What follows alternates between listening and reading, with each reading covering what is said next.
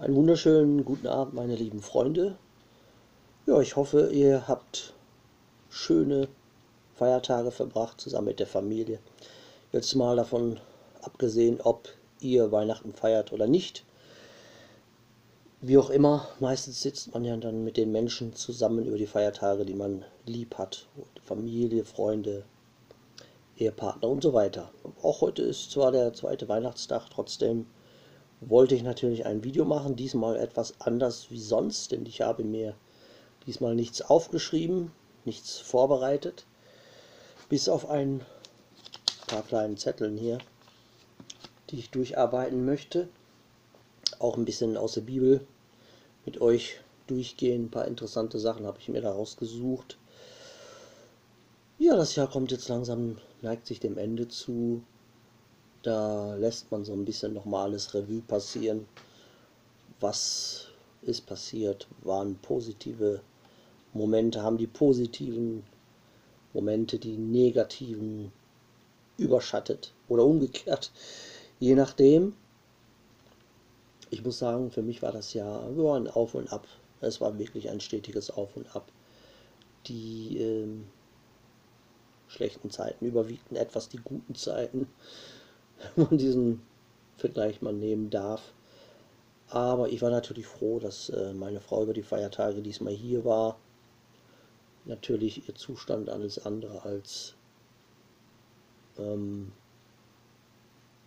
so, wie man es sich wünschen würde. Aber ich bin Gott dankbar, dass sie überhaupt zu Hause ist. Ich hatte ja, wie gesagt, zweimal Feiertage, Weihnachten, Silvester. Hatte ich ja meine Frau nicht bei mir zu Hause gehabt. Dieses Jahr zum Glück schon. Und mein Kater, der hier irgendwo rumläuft, ach, der ist hinter mir. Ja, wie gesagt, ich hoffe, dass bei euch alles okay war, familiär. Auch die Sache, was euren Glauben angeht, eure Gesundheit und so weiter. Äh, man äh, hat dieses Jahr, also mir ist es verstärkt aufgefallen, dass sich sehr viel in der, in der spirituellen Welt verändert hat was sich dann natürlich auch auf die physische Welt, die wir sehen können, übertragen hat. Und zwar, dass die Menschen alle noch ein wenig egoistischer geworden sind, alle noch ein wenig gottloser und viele Christen, dessen, deren Glaube nur geheuchelt war, beziehungsweise nicht kein starkes Fundament hatte. Solche Christen hat man gesehen, wie sie teilweise der Verwirrung hingegeben wurden von Gott oder sogar verworfen wurden. Viele, viele Leute, die gegangen sind, andere Geschwister, die neu hinzugekommen sind. Nette Menschen, ich habe einige nette Menschen kennengelernt aus aller Welt. Das Gute ist, wenn man auf YouTube oder im Internet präsent ist, dass man natürlich Menschen aus aller Welt kennenlernt und zum Glück natürlich auch sehr nette Menschen teilweise auch dabei sind. Also es sind nicht nur Leute, die einen im Rücken fallen, sondern man lernt auch richtig nette Menschen kennen, die auch einen Teil haben an ihrem Weg zu Jesus, die teilweise ganz andere Dinge erlebt haben. Und sowas ist natürlich immer sehr schön, wenn man das mitbekommt oder wenn man sich da austauschen kann. Ähm, ja, dann fangen wir erstmal an. Genau, ich wollte jetzt mal von Woche zu Woche. Ich habe da eine liebe Schwester Silvia, die so lieb und nett ist, die mir auch immer wieder christliche Filme zuschickt. Und ich habe mir da auch gedacht, dass ich das jetzt auch im neuen kommenden Jahr so machen möchte, so Gott will, dass ich hin und wieder mal eine Kurzbesprechung bestimmter Filme mache, nur ein paar Minuten das soll sich nicht auf dem ganzen Video dann hinziehen, aber so kurz erwähnt haben. Ich habe eigentlich ein, eine andere DVD mir rausgesucht und zwar war das ähm, Johannes. Apokalypse heißt der, glaube ich. Aber den muss ich raussuchen. Ich habe den jetzt irgendwo verlegt. Deswegen wollte ich heute einen anderen Film dann erstmal nehmen. Und zwar, ja, da sind zwei drin, aber ich habe erst den einen nur gesehen. Und zwar heißt der Maria Magdalena. Das ist aber nicht der, den, von dem ich mal in einem meiner Videos gesprochen habe, der auch in den Kinos lief mit äh, Joaquin Phoenix. Das ist der nicht. der äh, schlägt aber ungefähr in die gleiche Kerbe. Und zwar nicht in die positive Kerbe, sondern in eine nahezu schon, doch man kann sagen, es ist eine absolut blasphemische Kerbe. Ja, in dem Film werden biblische Ereignisse einfach übergangen oder Verknüpf Verknüpfungen hinzugefügt, die, die es gar nicht in der Bibel gibt. Da wird dann Maria Magdalena natürlich als armes Opfer erstmal dargestellt, nicht als einfach eine Sünderin, sondern sie wird als Opfer dargestellt, die sie ist eine reiche Frau, hat ganz viel Besitz. Und der Mann Amos, der ist natürlich ein ganz, ganz, ganz böser Mensch, der sie nicht mehr haben will und der schickt, gibt ihr einen Scheidebrief und schickt sie, schickt sie davon. Ähm, es wurde direkt so eingefädelt, dass äh, Maria Magdalena als absolute Isabel-Frau dargestellt wird in dem Film. Ähm, ihr Mann Amos muss dabei zusehen, wie sie mit einem Römer fremd geht. Sehr unrealistisch. Ähm, es ist sehr unwahrscheinlich, dass damals die Frauen so gehandelt haben weil er sie wahrscheinlich an Ort und Stelle gesteinigt hätte. Ja, sie wurde dann auf dem Weg, sie hat sich in diesen Römer verliebt, wollte dann weiterziehen. Er wollte sie dann aber auch nicht mehr haben, als er merkte, dass sie schwanger war. Ähm, sie wird dann von sieben weiteren Römern vergewaltigt, wobei sie das Kind verliert. Sie wird daraufhin eine Männerhasserin. Wir sehen, es geht schon da in äh, Titanic-ähnliche Zustände. Es ist wie in einem Hollywood-Film. Dann wird es richtig wirr.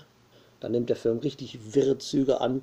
Sie kommt dann bei Herodes unter, wird eine persönliche Sklavin von der Frau von Herodes und ähm, sind dann auch Fäden am Spinnen. Sie sorgt dann dafür, dass ihr Mann bestraft wird, was ihr dann doch leid tut. Ja, man, ich will da gar nicht auf den ganzen Film eingehen, aber der ganze Film baut auf Emotionen auf, hat angeblich dichterische Freiheiten, die aber in einem Bibelfilm nicht zu suchen haben. Alles, was mit der Bibel zu tun hatte, sollte genauso filmisch dargestellt werden, wie es auch in der Bibel beschrieben wird, weil die Bibel sagt ja, wer etwas dazu hinzufügt oder weglässt, über den werden sämtliche Flüche kommen, die in der Bibel beschrieben stehen. Und dieser Film ist ein absoluter, also eine absolute Blasphemie. Die wirkliche Maria Magdalena wird ja eigentlich gar nicht großartig in der Bibel beschrieben. Hier wird sie äh, Teil einer Hauptrolle. Es ist es nimmt schon äh, Züge an wie vom Winde verweht. Ähm, auch trifft sie nicht zum ersten Mal auf Jesus, weil sie vor der Menge gesteinigt werden sollte, so wie es in der Bibel so war, sondern sie wird von den Fischern, von den Jüngern von Jesus auf, aus dem Wasser gezogen. Und ähm, sie ist auch ziemlich respektlos. Jesus rettet sie nicht vor der Steinigung. Das wurde ja alles beflissentlich weg gelassen. Eigentlich sämtliche Realitäten aus der Bibel wurden weggelassen. Die eine, die einzige Szene, die noch drin ist in dem Film, ist, als sie Jesus mit ihren Tränen zum Schluss die Füße wäscht und mit ihren Haaren abtrocknet. Es ist ähm, hart anzuschauen. Meine Frau wollte ihn unbedingt zu Ende schauen. Ich hätte ihn sonst ausgemacht, weil mir die Blasphemie doch zu sehr gegen den Strich ging. Und das ist für meinen Geist, ist das ein, wie eine ständige Ohrfeige alle jede Minute. Eine Blasphemie hinter der nächsten. Also, ich kann den Film nicht empfehlen, absolut nicht empfehlen. Soweit ich weiß, ist es eine italienisch-deutsche Koproduktion. Es sind deutsche Schauspieler bei, es sind italienische Schauspieler. Ich glaube sogar auch ein paar amerikanische, aber also für Leute, die nichts mit der Bibel zu tun haben, aber die sich mal gerne äh, Dramen oder was anschauen, für die Leute kann ich das empfehlen. Aber für jeden echten Christen kann ich nur sagen, Finger weg davon, denn es ist pure Blasphemie. Es ist ein, es ist ein blasphemisches Machwerk, was nicht in den Regal eines Christen gehört, sondern in den Mülltonne eines Christen, wenn überhaupt. Ja, traurig aber wahr, nicht? Es ist so. Ja, dann ähm, kommen wir zu diesen Stichpunkten, die ich mir hier gemacht habe. Ich, eigentlich waren das mehr. Ah, ich habe doch, ich, hab, ich weiß nicht, ob es alle sind. Ich hatte mir so die letzten Tage was aufgeschrieben. Ja, mir ist auch aufgefallen, dass hier natürlich wie immer zu Weihnachten der antichristliche Papst wieder aufgetreten ist vor einer Millionenmenge und alle haben sie ihn bejubelt, als wäre er Gott persönlich oder schon im Rang, im spirituellen Rang höher wie Jesus oder wie Gott. Und für den Vatikan ist es auch so. Hm. Traurig, traurig. Ähm, die verwirrte Menge stand drumherum, während er seine antichristlichen Reden hielt. Und sie hielten alle ihre Marienbilder hoch, was natürlich auch Blasphemie ist. Und das Einzige, was ich mir dabei immer frage, wenn ich dieses sehe, ist, ähm, wie verwirrt die Massen sein können, aber auch wie, wie perfekt Gott doch arbeitet. Also man sieht es immer wieder, wenn man nach menschlicher Logik gehen müsste, würde man sagen, das ist unmöglich, dass da Millionen von Menschen stehen und keiner von diesen Millionen Katholiken sagt, Moment, was der da predigt, ist komplett gegen die Bibel. Aber so ist es nicht. Sie erkennen es nicht. Ja, ich hatte mir noch eben die Bibel schnell dazu geholt, denn da war noch eine, eine Stelle, die ich dazu gleich zitieren wollte. Ja, unter anderem hat der Papst natürlich wieder der Elite nach dem Mund geredet mit mehr Liebe und liebt mehr die Flüchtlinge. Ja, hat er sich natürlich sofort versündigt, denn es gibt gar keine Flüchtlinge. Das sind. das weiß inzwischen der dümmste Mensch und ähm, ja, liebt mehr die Flüchtlinge. Ich wusste nicht, dass der Papst sich auch in die Politik einzumischen hat auch nicht, äh, ich wusste auch vorher nicht, dass er linksradikal ist. Und ähm, ist natürlich auch das, was man in den weltlichen Gemeinden und Kirchen hört. Ich will nicht näher darauf eingehen, weil ich auf YouTube eh schon ein nicht sehr gesehener Gast bin. Nur eine Sache, die ich doch ansprechen muss. Und zwar letztes Jahr war es ja, oder davor das Jahr war ja der Papst, wo er ebenfalls einen sehr antichristlichen Spruch abgab. Und zwar war das damals der Spruch, ähm, wie er der verwirrten Masse predigte, dass es gefährlich sei, eine persönliche Beziehung zu Jesus zu haben.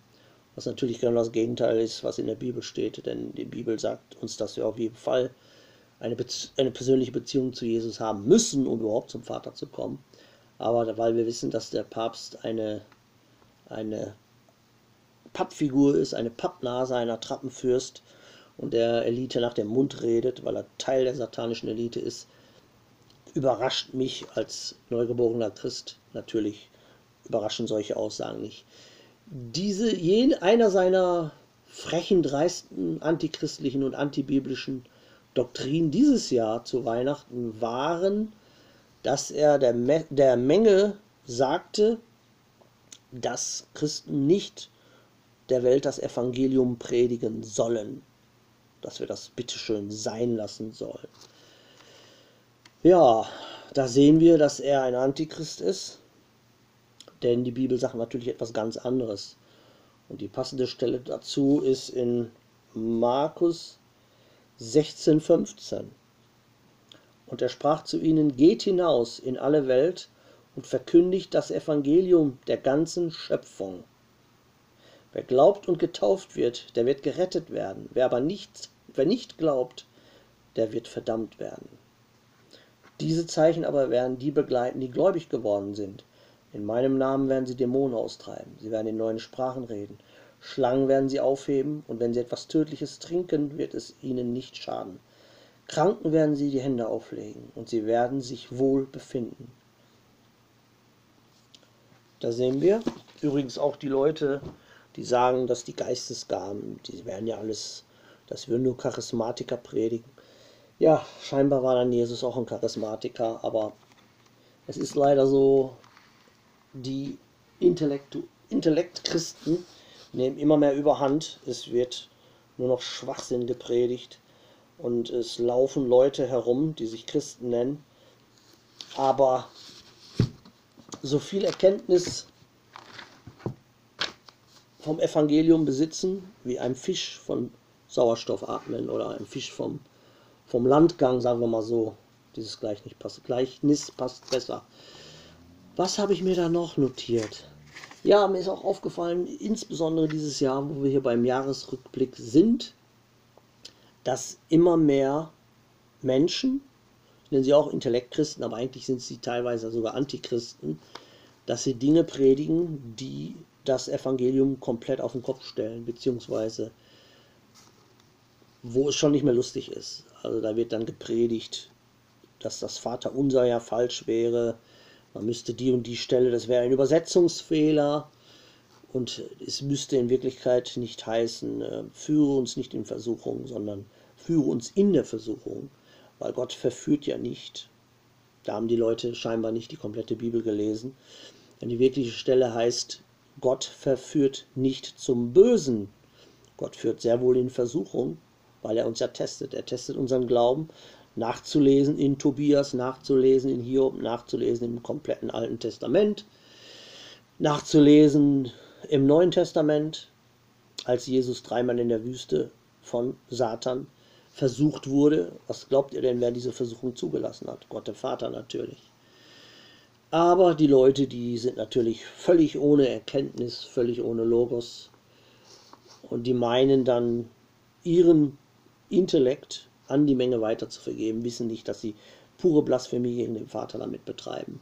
Das sind Leute, die sich zu Prediger selbst ernennen, die ihre Erkenntnisse nicht vom Heiligen Geist bekommen, sondern von einem Geist, der alles andere ist als heilig, sondern ein Irrgeist, ein Schwarmgeist, ein Geist, der ihnen die Verwirrung ins Hirn einbrennt. Ähm, dann wird auch immer wieder gerne und häufig und vermehrt gepredigt, dass wir so wie wir sind zu Gott kommen können, zu Jesus kommen können. Ich habe in meinen letzten Videos schon ein paar Mal darüber geredet, ich wollte aber noch mal etwas expliziter darauf eingehen. Da heißt es dann immer, ja, ich, Gott nimmt uns so, wie wir sind, er liebt uns so, wie wir sind und wir brauchen uns nicht zu ändern. Das Einzige, was wir machen müssen, wir müssen glauben, an Jesus glauben und mehr nicht. Wir müssen keine Buße tun, wir müssen nicht umkehren, wir müssen nicht neu geboren werden. Wir können genauso die Sünder bleiben, wie wir sind. Das Problem ist, die Leute wollen auch so bleiben, wie sie sind. Sie wollen keine Umkehr, sie wollen keine Buße. Sie wollen nicht den Weg gehen, den Jesus gegangen ist. Sie wollen nicht ihr eigenes Kreuz tragen. Sie wollen sich nicht selbst verweigern.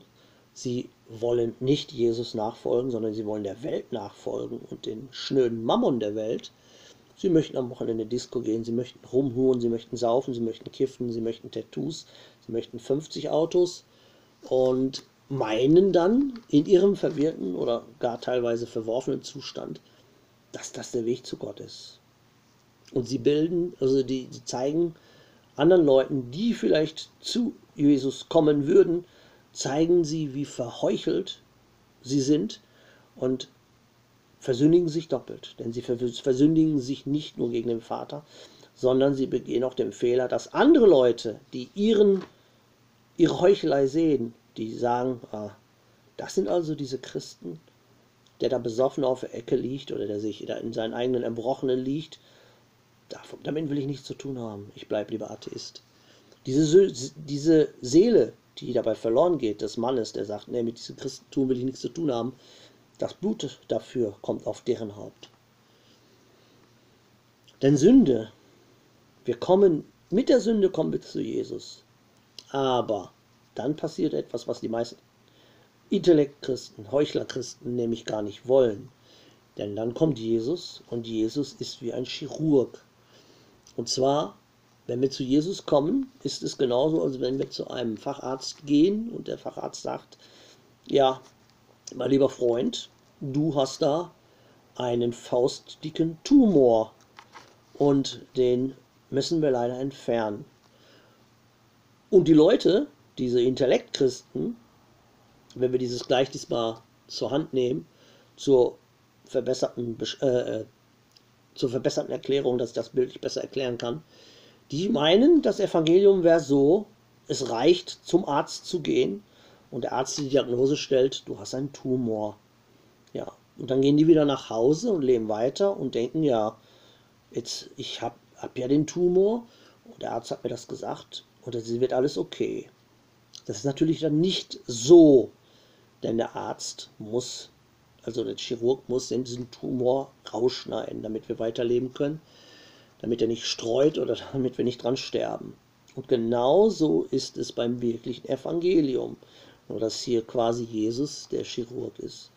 Oder jeder andere echte Christ, nehmen wir mal als Vergleich, wenn ein Sünder zu mir kommt und ich sehe, dass dieser Mensch sich Christ nennt, aber der macht alles falsch, er liebt die Sünde, er lebt die Sünde und er will in die Sünde bleiben, dann, muss ich dann sage ich dem, Junge, du hast da Sünde in dir, du hast da einen Tumor in dir und lass mich dir helfen, diesen Tumor, diese Sünde zu entfernen. Und was machen diese Leute dann? Ich mache das äh, seit fünf Jahren. Was sagen die Leute dann? Du bist ein Hassprediger. Du denkst, du wärst besser wie wir. Denkst du, du bist heiliger als wir? Glaubst du, du bist besser? Glaubst du, du bist was Besseres? Glaubst du, du lebst ohne Sünde?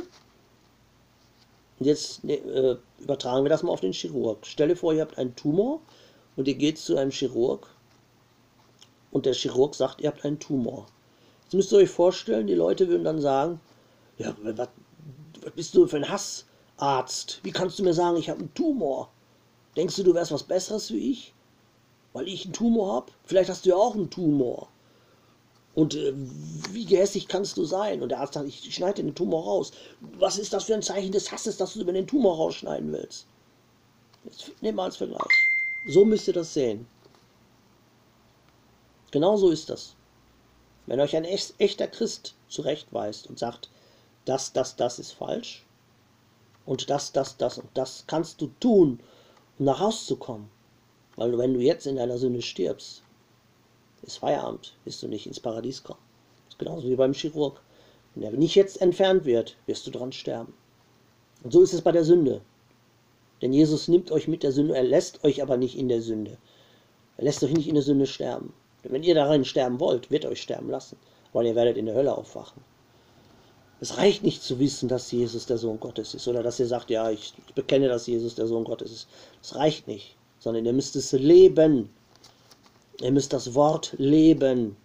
Es nützt nicht, dass ihr wisst, dass Wasser nass ist. Ihr müsst reinspringen, um es zu fühlen. Ein Schwimmer wird nie das Schwimmen lernen, indem er weiß, dass da Wasser ist. Und ein Schwimmer muss reinspringen und er muss anfangen zu schwimmen. Dann weiß er, aha, so kann ich schneller schwimmen, das muss ich machen, um schneller zu werden, um besser zu werden. Genauso ist es bei einem Christ. Ein Christ, der wirklich Gott liebt, der Jesus liebt, der muss diese Liebe pflegen. Er muss in dieser, in dieser Liebe wachsen und er muss in seinem Glauben wachsen, er muss in seinem Fundament wachsen und er muss Gott fürchten, damit Gott ihm die Erkenntnis gibt und zeigt, wie er leben muss, um diese Welt nicht mehr Nummer uno zu machen, sondern dass diese Welt ganz hinten ist. Dass er diese Welt nicht liebt, dass er die Sünde nicht liebt und dass er diese, diesen schnören Mammon dieser Welt, Geld und Hurerei und all das ganze Drumherum Ansehen in der Gesellschaft, das sollte einem Christ egal sein. Und wir können nicht beides haben, wir können nicht an zwei Tischen gleichzeitig sitzen. Und das müssen die meisten lernen. Sie müssen, aber es ist, wird immer schwieriger. Es ist mir aufgefallen, dieses Jahr war es ganz extrem. Die Leute, auch die sogenannten Christen, keiner will mehr zuhören, jeder will reden. Ich habe es schon in mehreren Videos gesagt, dass keiner mehr, der zuhören will. Jeder möchte Lehrer sein. Und ist seine Erkenntnis oder ihre Erkenntnis auch noch so klein oder gar nicht vorhanden, jeder möchte Lehrer sein. Und jeder weiß alles ganz genau. Aber woher wissen sie es genau? Sie haben nicht die Erkenntnis von der Bibel. Sie haben nicht die Erkenntnis durchs Lesen der Bibel. Und sie, geschweige denn haben sie die Erkenntnis von, vom Heiligen Geist, vom Vater sondern sie haben irgendwelche YouTube-Videos gesehen oder sehen irgendwelche Facebook-Posts oder gehen in irgendwelche weltlichen Gemeinden, wo gepredigt wird, ja, jeder kommt im Himmel, egal was ihr macht, egal wie schrecklich ihr seid, ihr kommt alle im Himmel. Und meinen jetzt, sie wären Propheten oder gar Heilige und könnten selber predigen und müssten keinem mehr zuhören, sondern jeder müsste ihnen zuhören. Es war übrigens auch noch eine Sache, die der Papst äh, aus seinem dreckigen Antichristen-Maul, muss ich mal ganz deutlich sagen, ähm, rausgelassen hat, ist, dass ähm, Gott jeden liebt, egal wie groß, was für ein großer Sünder er ist und egal wie schlecht er ist. Und jeder kommt in den Himmel. Natürlich gibt es keine Hölle. Und das ist natürlich auch Schwachsinn. Weil wir kommen als Sünder, aber mit dem, mit dem Vorhaben, Gott befreie mich von den Sünden, mach, schenk mir ein neues Herz, Umkehr, Buße. Umkehr, Buße, Jesus nachfolgen, eigene Kreuz tragen. Aber das, davon will die Welt natürlich nichts hören. Sie haben inzwischen das äh, schöne Barbie-Puppen-Evangelium angenommen, welches aus der Feder Satans stammt. Nicht? Ja, so viel dazu. Und dann, wie gesagt, habe ich heute Morgen, ich hatte eigentlich aus der anderen Bibel mir einige Stellen notiert, die kommen aber in einem späteren Video. Heute habe ich eine interessante Feststellung gemacht und zwar habe ich in dieser wunderschönen Bibel hier, die ich bald durch habe, wie gesagt, bin ich jetzt bei Sirach und da geht es um Weisheit und daraus wollte ich euch ein bisschen vorlesen und etwas zu sagen. Das Phänomen an der Sache ist, dass ich die kompletten zwei Seiten, die ich heute Morgen gelesen habe, dass ich jeden einzelnen Satz mit einem Bleistift markiert habe. So. Rocky! Der hat lustige Geräusche von sich gegeben. So interessant und wichtig ist das, was hier steht. Denn Weisheit ist natürlich etwas, was jeder behauptet heutzutage zu haben. Aber Weisheit ist wie so ein, in Wirklichkeit bei den Menschen anzutreffen wie ein Sechser im Lotto oder wie der Yeti. Man hört davon, aber man keiner hat ihn wirklich gesehen. So muss ich es auch sagen, sind mir selten wirklich weise Menschen begegnet. Wenn überhaupt, dann absolut echte Christen. Aber bei diesen, bei den meisten Heuchlern sehe ich keine Weisheit, sondern Stolz und Arroganz und Überheblichkeit. Aber fangen wir mal an. Es ist bei Sirach 1, 6. Wer könnte sonst wissen, wie man die Weisheit und Klugheit erlangen sollte? Einer ist weise, der Allerhöchste, der Schöpfer aller Dinge, allmächtig, ein gewaltiger König und sehr schrecklich, der auf seinem Thron sitzet, ein herrschender Gott, der hat sie durch seinen heiligen Geist verkündiget, der hat alles zuvor gedacht, gewusst und gemessen. Also Gott ist quasi von Anfang an die Weisheit. Und er schenkt Weisheit, wann und wen er möchte. Und hat die Weisheit ausgeschüttet über alle seine Werke, über alles Fleisch, nach seiner Gnade und gibt sie denen, so ihn lieben. Also die, die wirklich Gott lieben, die schenkt, denen schenkt er Weisheit. 11. Die Furcht des Herrn ist Ehre und Ruhm, Freude und eine schöne Krone. Furcht. Ich habe mal letztens mal ein Gespräch mit einer Frau gehabt und da sagte ich, dass die meisten nicht zu Gott finden, weil sie keine Gottesfurcht haben. Da sagte diese Frau, wie, wieso muss man Gott fürchten? Ich dachte immer, man muss Gott lieben. Ja, genau das ist nämlich der Witz an der Sache, was man auch nirgendwo gepredigt bekommt, in keiner weltlichen Gemeinde und keiner weltlichen Kirche und auch der Papst wird es euch nicht sagen, dass man Gott fürchten muss. Denn Furcht vor Gott ist der erste Weg zur Weisheit. Kommt auch gleich noch diese Stelle. Die Furcht des Herrn macht das Herz fröhlich und gibt Freude und Wonne ewiglich. Wer den Herrn fürchtet, dem wird's wohlgehen in der letzten Not und wird endlich den Segen behalten. Gott liebet. Gott lieben, das ist die allerschönste Weisheit. Und wer sie er sieht, der liebt sie, denn er sieht, welch große Wunder sie tut, also die Weisheit. Die Furcht des Herrn ist der Weisheit Anfang und ist im Herzensgrund allein bei den Gläubigen und wohnet allein bei den auserwählten Weibern und wenn man und man findet sie allein bei den Gerechten und Gläubigen.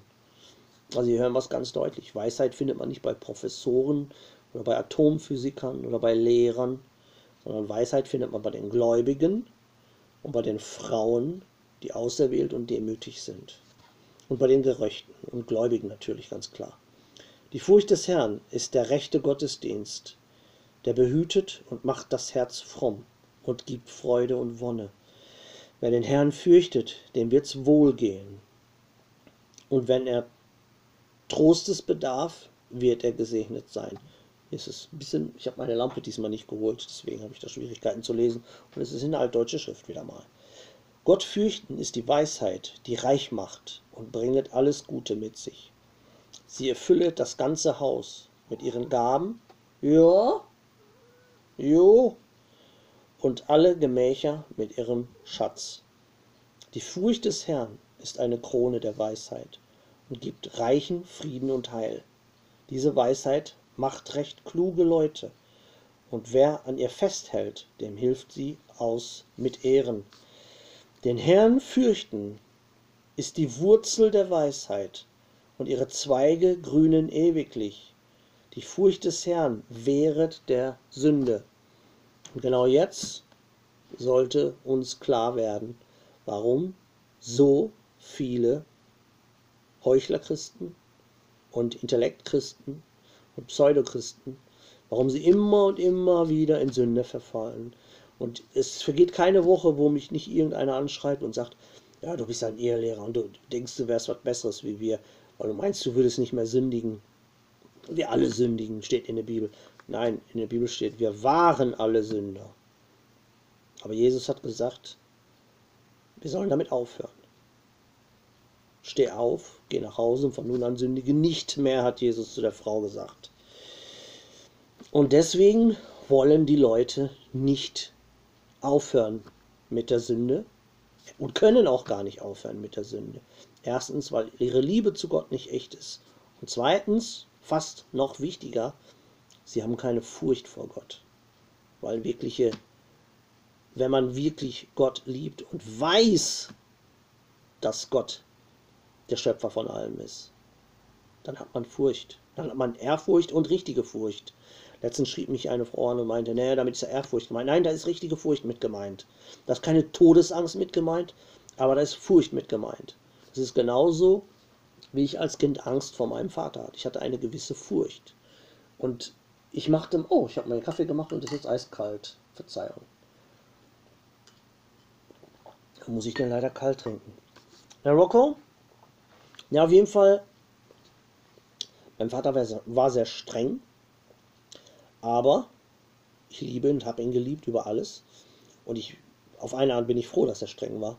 Und weil ich Furcht vor meinem Vater hatte, aber nicht nur deswegen, sondern auch, weil ich meinem Vater keine Schande machen wollte, kam ich nie nach Hause und er musste irgendwelche Dinge hören, dass ich irgendwelche Frauen geschwängert habe oder dass ich irgendwelchen Mist gebaut habe oder dass ich Fenster eingeschlagen habe oder dass die Polizei mich nach Hause bringen musste oder dass er mich mit, äh, dass ich zugesoffenem Vollkoma irgendwo lag, weil ich Drogen genommen habe oder so. Das ist nie passiert, weil ich meinem Vater keine Schande machen wollte und weil ich Furcht vor meinem Vater hatte. Und genauso sollte es auch mit Gott sein. Gott ist noch viel, viel milliardenfach größer als unser irdischer Vater. Und wenn ich Gott wirklich liebe, und wenn ich seinen Sohn wirklich liebe, und wenn ich das Kreuz sehe und sehe, was Gottes Sohn für den Vater gemacht hat und was er für uns gemacht hat, wie er sich ans Kreuz schlagen ließ, wie er sich zu Tode foltern ließ, wie er sich auspeitschen ließ, wie er sich anspucken ließ, wie er sich ins Gesicht schlagen ließ, wie er sich eine Dornkrone auf, aufsetzen ließ, wie sie ihm die Kleider vom Leib rissen und er nackt gekreuzigt wurde. Und wir dann da stehen, dreist und die Frechheit haben zu sagen, wir müssen ja nicht sündigen. Jesus ist ja schon für mich am Kreuz gestorben. Solchen Leuten könnte ich direkt ebenfalls ins Gesicht schlagen. Weil das ist so geheuchelt und falsch. Ihr seid so feige. Ihr seid so feige. Jesus ist für euch. Und wenn sie dann besoffen in der Kneipe sitzen, mit ihren Ausreden und sagen, ja, Jesus hat auch mit den Sündern gesessen. Ja, Jesus hat diese Sünder zur Buße berufen. Er hat nicht mit den Säufern gesoffen und Party gemacht, so wie ihr es macht. Und er hat sie da rausgeholt aus den Sünden. Und ihr holt die Leute da nicht raus aus ihren Sünden, sondern in dem Teil an deren Sünden. Das ist ein Riesenunterschied. Oder wenn sie sagen, ja, ich darf Alkohol trinken, weil Jesus hat auch Alkohol getrunken. Das war ein Gleichnis. Jesus hat Wein getrunken. Aber er hat es getan, um ein Gleichnis darzustellen. Und es war sein Blut, es war das Leben, was er mit seinen Jüngern geteilt hat. Es war sein Blut, was er mit den Jüngern geteilt hat. Und ihr sitzt in der Kneipe und meint, ihr könnt das auch machen, weil Jesus das auch gemacht hat. Jesus hat sich auch ans Kreuz schlagen lassen. Wann habt ihr euch ans Kreuz letzte Mal schlagen lassen? Gar nicht. Überhaupt nicht. Lebenshaus und brauchst die meisten da draußen. Gottesfurcht ist das, was den meisten Menschen fehlt. Deswegen sind das diese Heuchlerchristen, die besoffen am Wochenende in der Ecke liegen und andere schütteln den Kopf darüber und lachen sich kaputt drüber in den Gemeinden. Oder wenn euch irgendwelche Satanisten hinterfragen und sagen, erklär mir doch mal dies, das und jenes. Und sie stehen da wie Stan Lauren von Dick und Doof und kratzen sich am Kopf, weil sie nie die Bibel gelesen haben. Weil sie nur das hören, was irgendwie so ein Pfaffe da, der selber ein Sünder ist, oder ein äh, weiblicher Möchtegern-Pastor ihnen erzählt hat. Sie selber haben überhaupt nichts, keine Erkenntnis jemals von Gott bekommen. Weil Gott ist nicht ihr Vater, Gott ist nicht, sie sind nicht in Jesus, sie sind nicht in Gott, sondern Gott ist ein Fremder für sie. Ihre Liebe ist geheuchelt. Ihre Furcht ist geheuchelt. Sie wissen noch nicht mal, dass man Gott fürchten muss. Aber sie werden Gott fürchten, wenn sie eines Tages vor ihm stehen. Und dann können sie nicht labern. Dann redet Gott und sie halten die Klappe. Wenn man vor Gott steht, dann fällt man automatisch auf allen Vieren, mit dem Kopf in den Dreck. Dann ist der Mund wie zugeklebt. Und Gott redet. Und dann ist der erste, das ist das erste Mal im Moment, wo nicht ihr palavert, sondern Gott zuhören müsst. Also erst bei manchen Menschen wird das der allererste Moment oder auch der letzte Moment sein, wo sie nicht labern, sondern sie das Maul halten müssen und jemandem zuhören müssen. Das können die meisten nicht mehr. Verzeihung, dass ich das so hart ausgedrückt habe, aber manchmal muss man einfach härtere Worte anschlagen und das hat Johannes gemacht und das hat Jesus auch gemacht. Und wenn da wieder einer sagt, ah, du bist aber so ohne Liebe, doch, das ist eine Liebe, das ist sehr wohl Liebe. Aber das ist nicht diese geheuchelte äh, Deutschland sucht den Superstar-Liebe, sondern das ist die wirkliche Liebe von Gott.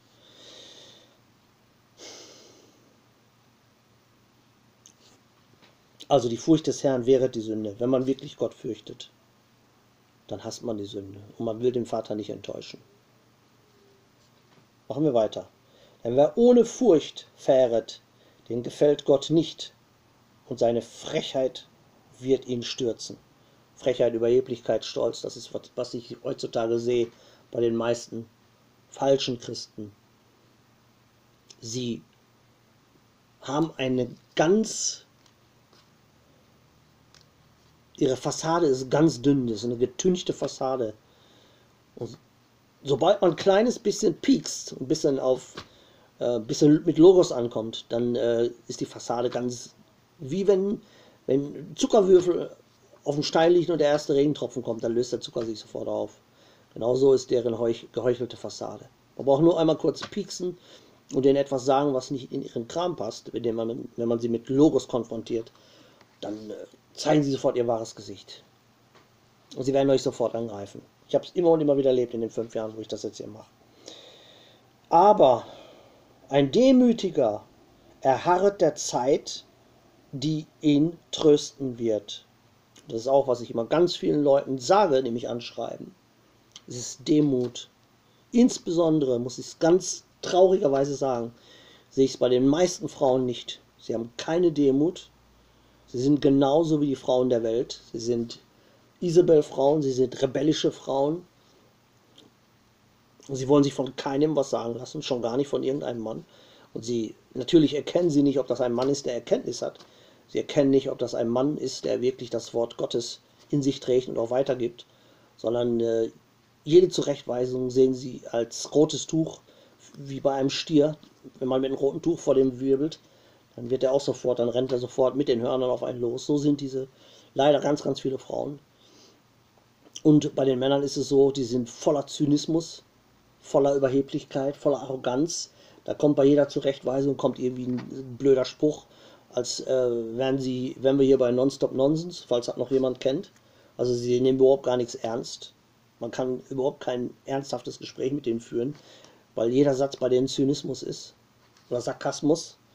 Und äh, so findet man natürlich auch nicht zu Gott. So, ich mache noch ein bisschen weiter. Wir sind schon. Oh. Na gut so werden doch die Frommen seine Weisheit rühmen. Dem Gottlosen ist Gottes Wort ein Greuel, denn es ist ein Schatz der Weisheit, der in verborgen ist. Also diesen Leuten die in Wirklichkeit Gott hassen. Und ich kenne ganz, ganz, ganz, ganz viele Leute, die behaupten, Christen zu sein, aber in Wirklichkeit hassen sie Jesus wie die Pest und sie hassen Gott wie die Pest. Weil sie so voller Rebellion sind. Und ihr Vater ist in Wirklichkeit Satan. Sie gehen in Gemein, weil es da so schön ist, weil da diese Titanic-Atmosphäre ist und wir tanzen alle Ringel rein und bewerfen uns gegenseitig mit Watte. In Wirklichkeit hassen sie Jesus. Und Grund auf, deswegen basteln sie sich ihren eigenen Jesus. Und diesen Jesus, den sie sich gebastelt haben, ist, ist Luzifer.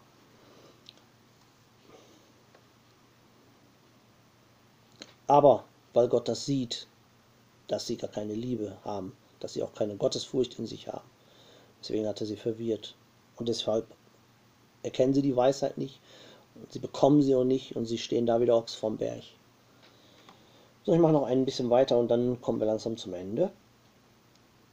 Siehe zu, dass deine Gottesfurcht nicht Heuchelei sei, und diene ihm nicht mit falschem Herzen.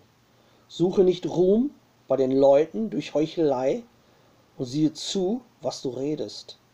Und wirf dich selbst nicht auf, dass du nicht fallest und zu Schanden werdest.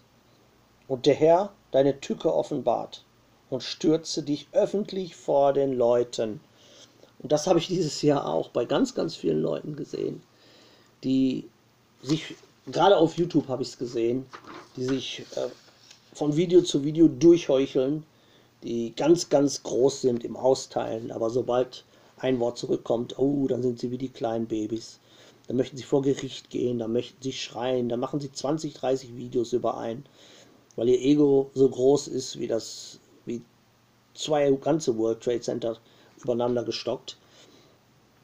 Und man sieht oder man hat gesehen, gerade in diesem Jahr, wie ganz viele von diesen Leuten gefallen sind, gestürzt sind. Und plötzlich haben sie keine Videos mehr gemacht. Und plötzlich haben sie aufgehört, weil ihr wirkliches Fundament war überhaupt nichts. Es war aus, aus Wackelpudding. Sie, ihre Liebe war geheuchelt. Sie haben Videos gemacht, um selbst aufzusteigen, um Klicks zu bekommen, um Geld einzuheimsen, um Spenden einzusaugen. Aber nicht, weil sie Gott lieben, nicht, weil sie Jesus folgen wollen, sondern auch nicht, weil sie das Evangelium verkünden wollen, sondern einfach um für den Selbstzweck. Sie wollen sich selbst erhöhen, sie wollen selbst Karriere machen, sie wollen, sie nehmen diese Videos als, als Karriereleiter und als, als Geldhahn, den sie aufdrehen können.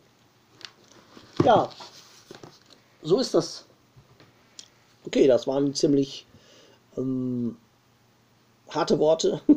Wie heißt es in Rocky 3? Harte Worte von einem harten Mann. Aber darum geht es nicht. Es geht natürlich nicht um harte Worte oder um irgendeinen harten Mann. Oder damit will ich auch nicht behaupten, dass ich eins oder das andere bin, aber es geht einfach um die Wahrheit. Und es ist mir aufgefallen in diesem Jahr und nicht nur erst in diesem Jahr, sondern ich mache es ja jetzt schon fast sechs Jahre, dass die Wahrheit immer weniger sein, ihren Weg findet in den YouTube-Videos, in überhaupt in, in Facebook-Foren, auf der Straße. Jeder, wie gesagt, möchte reden, aber keiner hat die Wahrheit oder kaum einer hat die Wahrheit, geschweige denn verkündigen sie die Wahrheit. Und Wahrheit ist, wie gesagt, die Wahrheit ist nicht etwas, was man bei McDonald's bekommt, im äh, Angebot. Ähm, nein, die Wahrheit ist nicht etwas, was man einfach so per Preisnachlass bekommt, sondern die Wahrheit ist ein Mann und sie ist immer noch, dieser Mann ist immer noch Jesus Christus. Und die Wahrheit bekommt man nach und nach oder auch schubweise, wenn man wirklich von ganzem Herzen Jesus liebt, ihm nachfolgen will und es auch tut, in Wort und Tat und nicht nur in irgendwelchen Gemeinden tingeltangelt und irgendwelchen Kirchen tingeltangelt und äh, Kontakt mit irgendwelchen Leuten hat, nicht wirklich um des Glaubens willen, sondern einfach nur, weil es so schön und toll ist und weil ich in irgendein Hobby zu irgendeiner Gang dazugehören will. Es ist leider erschreckend, was auf der Welt da passiert. Es ist erschreckend, was äh, wie erkenntnislos manche Christen sind. Teilweise sind da Christen bei. Ich mache das jetzt, ich sage immer, ich mache es seit fünf, fast sechs Jahren das ist eigentlich überhaupt gar keine Zeit. Aber ich, wie gesagt, es ist erschreckend zu sehen, manche Leute, die sagen, sie sind 20, 30, 40 Jahre Christ. Und die wissen noch nicht mal, dass das Ave Maria ein blasphemisches Gebet ist. Sie wissen noch nicht mal, dass man nicht zu Maria beten darf. Sie wissen noch nicht mal, wer Johannes ist, wenn man, wenn man sie konfrontiert. Ja, Johannes hat dies gesagt. Ja, Johannes der Täufer? Nein, es gibt nicht nur Johannes der Täufer. Sondern ich rede von dem Johannes, der die Offenbarung gebracht hat. Der Johannes, den Jesus lieb gehabt hat. Ja, das ist ähm, diese Unwissenheit, die nimmt extreme Form an. Die mangelnde Erkenntnis nimmt extreme Form an. Die Dinge, die Menschen sagen und tun, wenn sie verwirrt oder verworfen sind, das nimmt immer extremere Dimensionen an. Und ich würde sagen, jetzt wo wir zum Ende des Videos und des Jahres langsam kommen, hart aus und prüfe die Geister. Das ist, glaube ich, wichtiger als jemals zuvor. Egal, mit wem ihr befreundet seid oder wen ihr Bruder oder Schwester nennt, bei jeder Aussage prüfe die Geister. Bei Filmen, die ihr schaut, prüfe die Geister. Kommt es wirklich, ist es wirklich Logos? Kommt es wirklich vom Heiligen Geist? Kommt es von Gott oder kommt es von der Welt? Kommt es von dem, der gerne Gott und Jesus spielt, nämlich den Antichristen oder auch Luzifer, Satan, Schlange, Drachen, wie immer dieser Hund auch sich nennen mag, Engel des Lichts, was er gerne wäre, aber nicht ist. Also seid vorsichtig, es wird immer erst schlimmer, bevor es bald besser wird. Aber wir sind in, wir befinden uns in knallharten Zeiten. Es sind schwierige Zeiten. Es sind aber auch spannende Zeiten für die Leute, die Ohren haben zu hören und Augen zu sehen. So, ich komme zum Ende, liebe Freunde. Wie gesagt, ich hoffe, ihr seid alle gesund und ihr bleibt gesund. Und wichtiger ist, bleibt im Fundament und haltet an dem fest, was ihr habt und lasst es euch von niemandem nehmen. Denn es ist eine schwierige, gefährliche und gottlose Zeit. Harren wir aus. Bis zum nächsten Video. Seid gesegnet in Jesus Christus mächtigen Namen. Ciao.